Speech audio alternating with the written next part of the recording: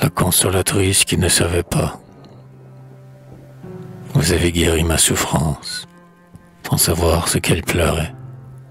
L'amitié de votre présence a tant caressé mon secret.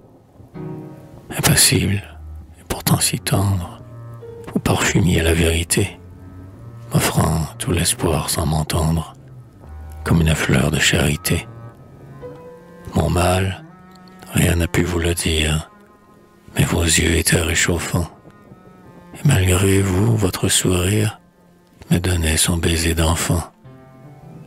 Sur votre seuil plein de corolle, le soir je suis resté parfois, abandonné par vos paroles, mais secouru par votre voix. Ah, quel destin sacré te pousse, petit ange qui m'est venu. Toi dont la douceur est si douce, qu'elle console l'inconnu. Toi qui passa, penché à peine, près du pauvre, près du pécheur, qui te mêle à ma peine, en gardant toute ta blancheur.